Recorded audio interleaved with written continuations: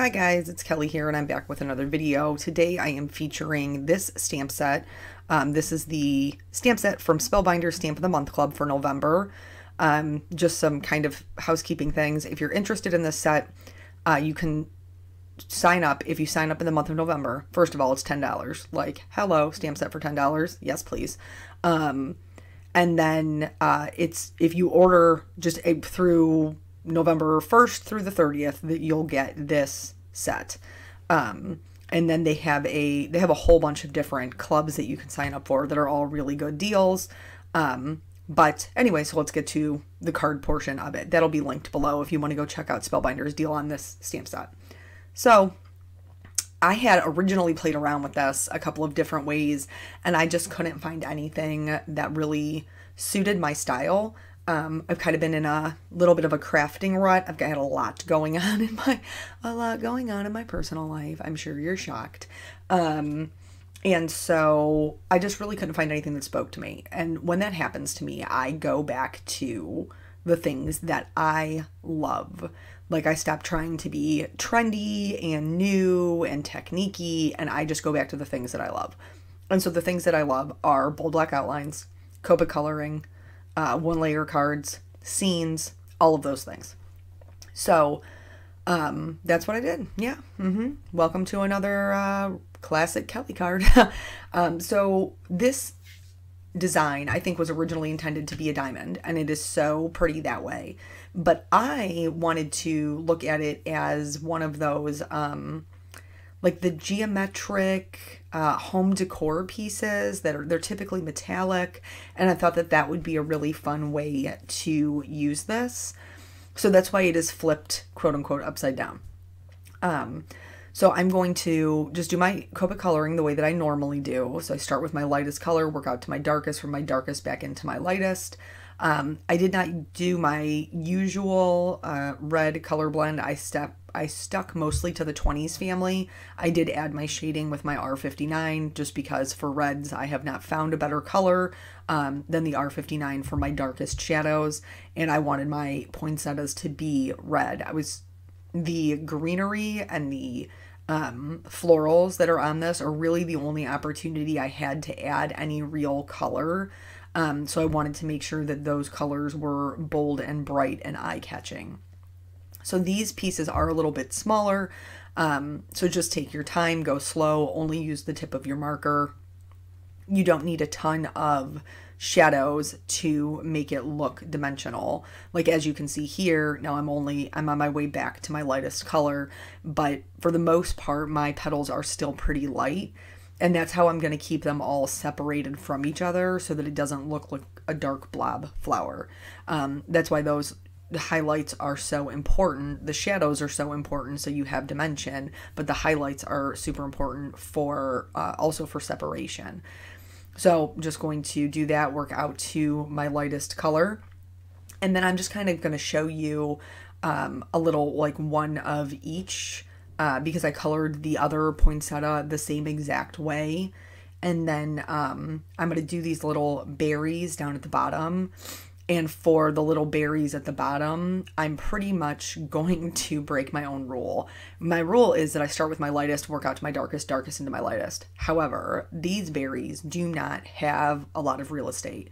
They are smaller, but I still want to get that dimension in there. So I'm starting with my darkest color.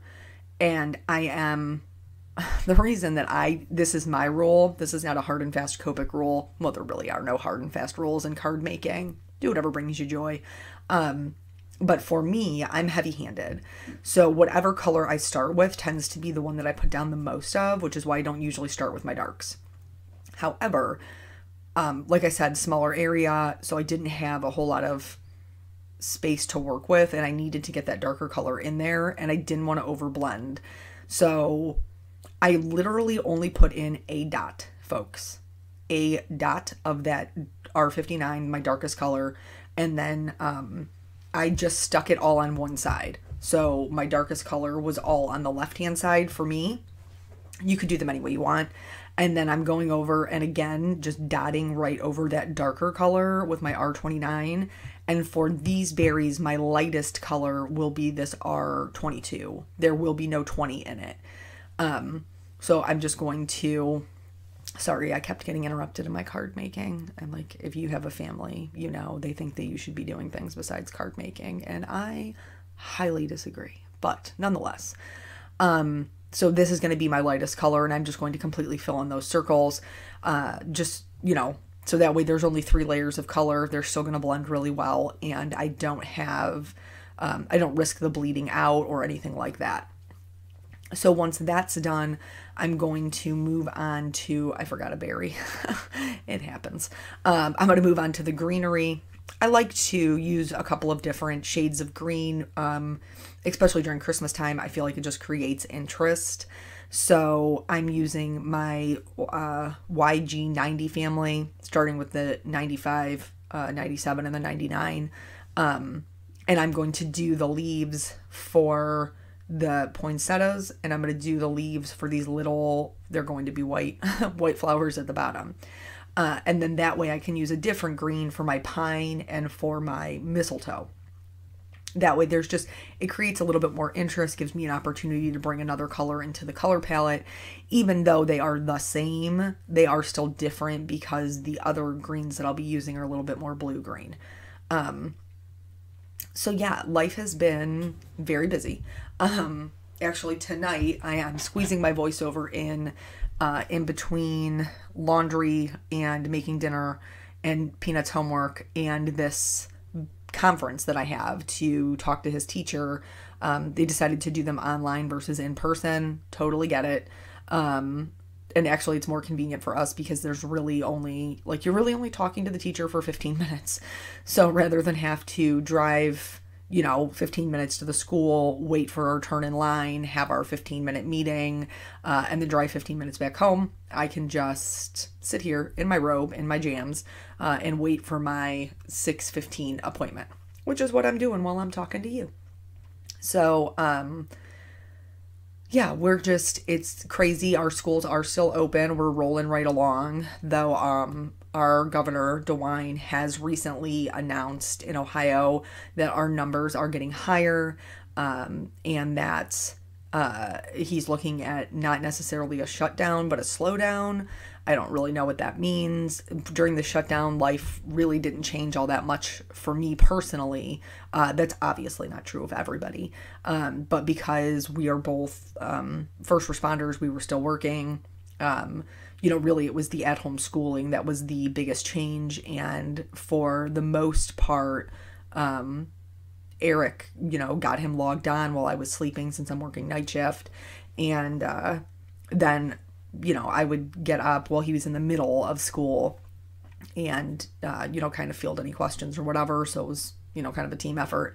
Um, and then, you know, knock out any homework that he had. But him being back in school, um, like, first of all, every child is different. And I was not a proponent of sending him back. Um, I just wasn't. I was worried about it. I was worried about him seeing my family. I was worried about what he would be exposed to. Um, you know, just like every other parent in the world, we're all just trying to make the best decision with the information that we have, and the best decision for each family is a little bit different.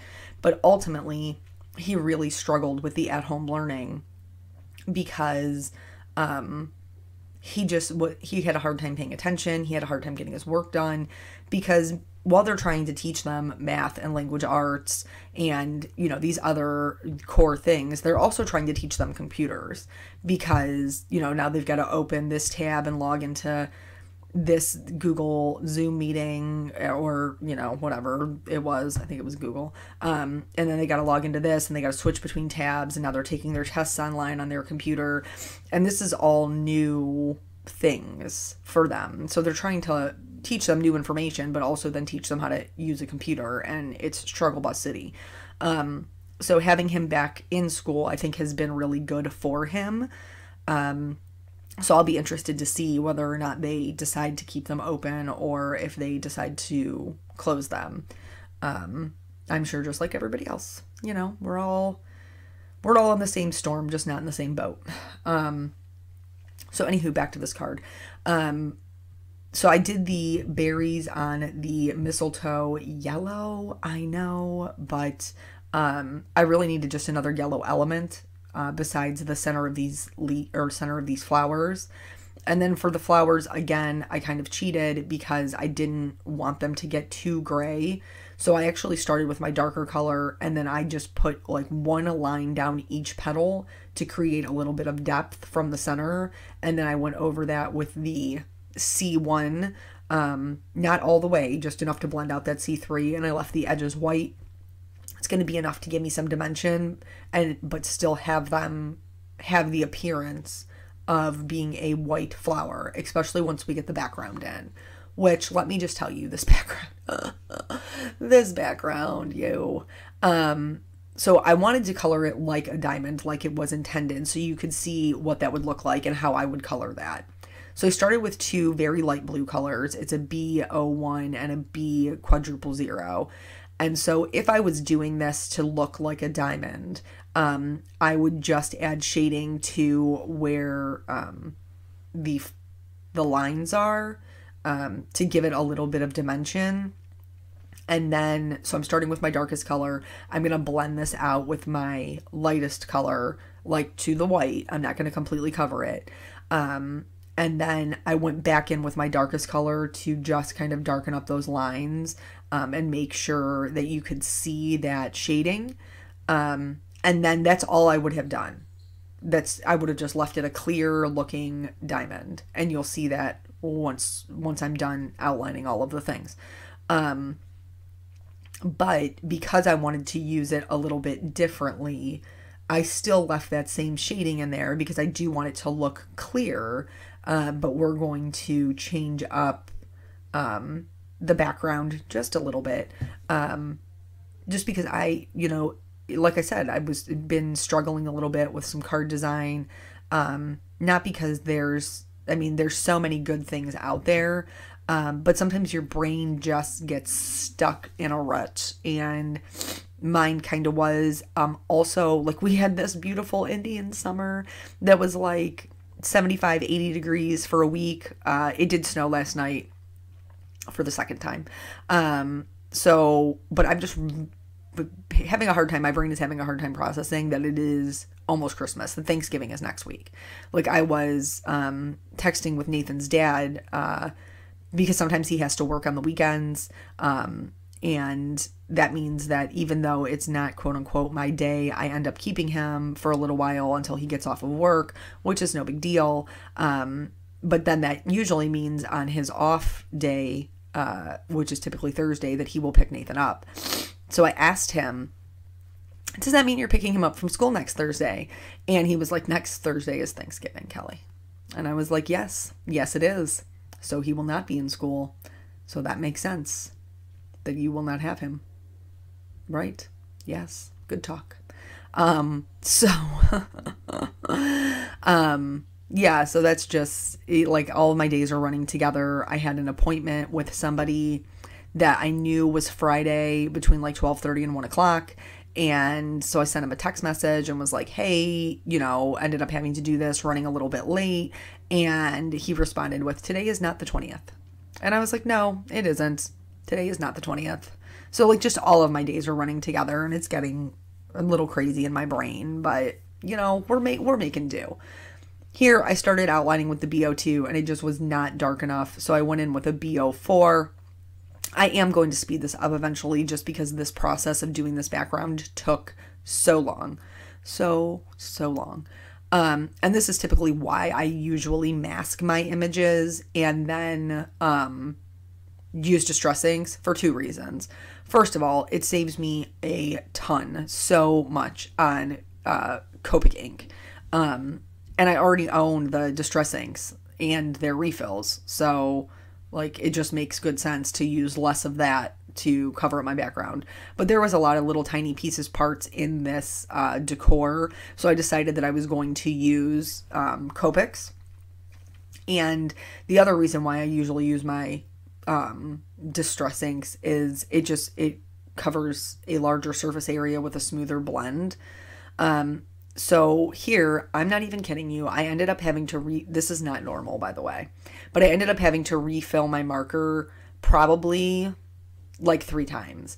And this was my own fault. And it's because I was terrified of overfilling my marker. Um I don't I usually, you know, put in enough ink until the nib is just wet.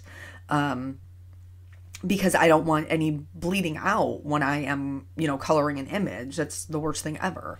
Um, so I try not to overfill them. I try very hard not to overfill them. And so I wasn't putting enough ink. Every time I was filling it, I was not putting in enough ink, especially with this B quadruple zero to like completely cover the whole background. I just wasn't putting enough in.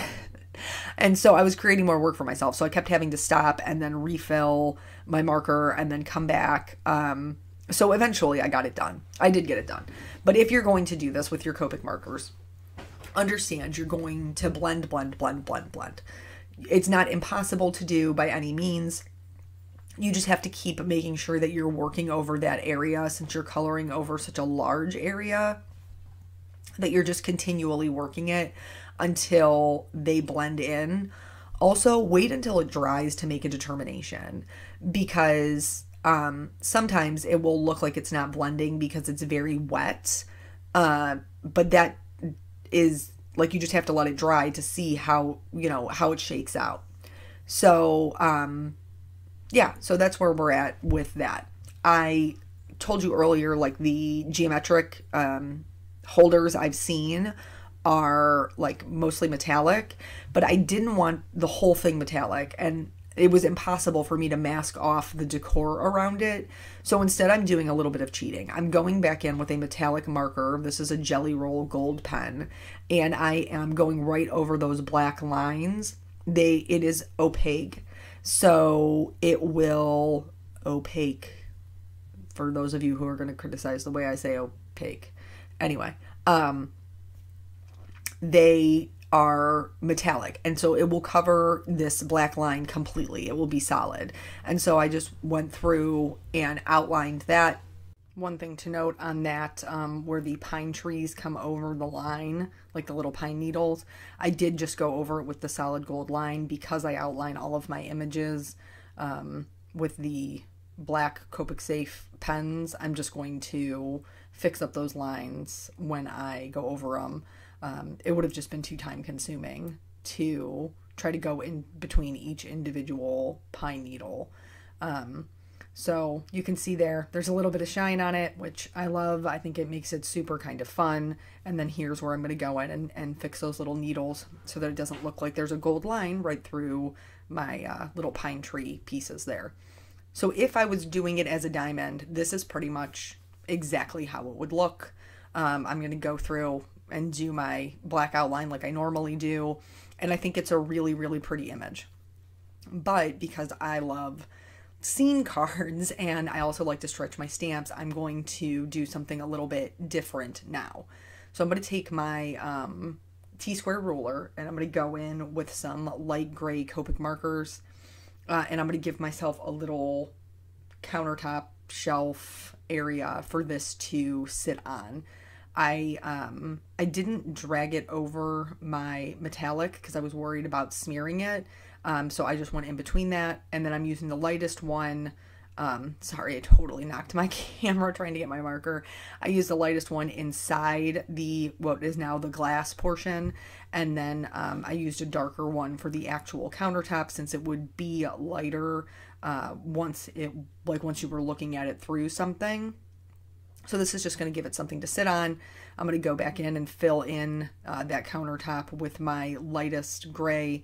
I started off with the C family and then straight up after all I had, all the refilling I had to do with my blue markers, I did not want to refill any more markers. That's the truth. That's what happened. And so I was being lazy and so I switched to warm gray. Um, they work really well together. It's not a huge deal um, that I have a, a cool gray because I did go over all of it just to blend them in.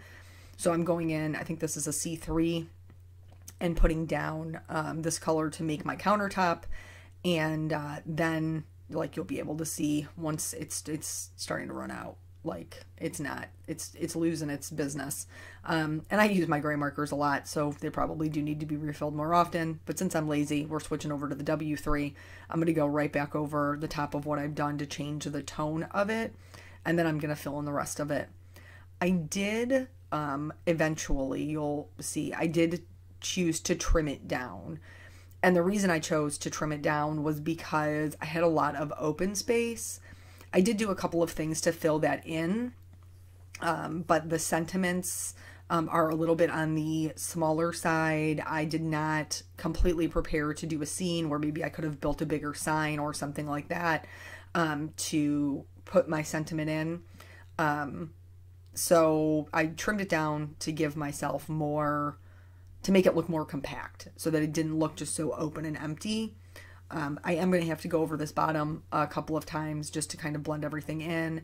And then I am going to go back in with some darker grays to give it a shadow um, because that would make sense. It's sitting right on top of a countertop. Um, so here's those, the ones I've been using, the W3 uh, and the W5. And then the W7 is going to be my darker shadow that's going to go right up against this. And then for one of the pine needles, like you can see how it's you know, they're pokey, so they're not solid. So the one that's angled up, I'm just going to do a line, an angled line underneath as if it was casting a shadow down onto the table because it's not touching, but it would still have a shadow. Um, and then I'm going to go back and blend that out with my W5 and then eventually to um, my W3 again. So this is just another way we're getting a little bit of that dimension and so it looks like it makes sense on the countertop. Here, um, it's, I think at this point it has been, has it been trimmed down? Mm, I can't really tell. I'm going to be honest. But I did want to get my sentiment in there. And for this, I am totally comfortable using gold embossing powder because I'm not going to have to do any masking. So I'm going to uh, heat it with, or treat it, treat it with um, my embossing bag to get rid of any static going to ink it up with some Versamark, stamp it down, and then I'm going to um, heat set it in gold so that it's all, you know, matchy matchy to my little geometric um, home decor piece I've got going on here. And I can tell you it's not trimmed down because it should be more to the right. Once I trim it down, it'll be more to the right.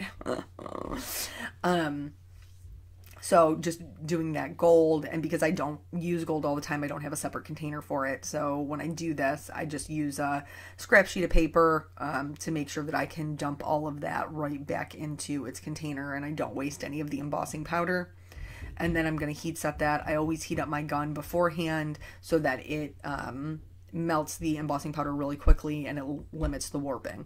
So at this point it's been trimmed down. I decided to put it on a white card base so that it would have a little bit of a border and um, I am, it still looked very blank to me. Still looked very, um, I don't know, empty. So I'm going to add a little bit more to it. Uh, I'm going to add some pine and some mistletoe in front of this. Now, obviously, I don't want to do any masking, so I'm very limited. Um, but I think it's okay. I think it ended up being okay. So I'm going to stamp the pine and then um, a little bit of the mistletoe in the top right hand corner um, just to give like that visual um, look of three and fill in my space as if this whole thing has been decorated and we're only getting just a little snapshot of it. Um, and then I'm again going to put in a little mistletoe in the bottom just to um, have a little bit of a different color. Uh, I'm to, you know, color the berries, everything. I'm not to show it to you again because, Lord, we've been here together for a hot minute now, haven't we? But everything was colored the same. Um, and then I'm to add some glitter over, this is the just clear glitter pen over the berries, the flowers, um, same thing with the ones that are hanging down and the ones that are on the countertop. And then for the um, my highlights to add some interest to it, I'm going to go back in with that gold pen on the berries and just do a little dot of color so that they kind of catch the light a little bit. And then for my red berries, I'm going to go in with a white gel pen and do the same thing to create a highlight. This is something that's so simple that really transforms the way that they look. Um, so if you don't have a white gel pen, I would highly recommend it. I prefer the Gelly Roll medium tip ones. Um, I know there's a lot of people who love Signo. They never worked really well for me, and these are much cheaper. Uh, I did add a little bit of yellow into the center of my poinsettias because I had forgot to do that before. And then I covered the whole thing in my good old scotch foam tape and I'm going to mount that to my white card base. Uh, again, this is just something, even though it's a one layer card, that will give it a little bit of interest. And then that's it, that's the whole card. So the Spellbinders Clear Stamp of the Month will be linked below. Again, 10 bucks, great deal. Um, and that's it. Thank you guys so much for joining me, and I'll catch you on the next video. Bye.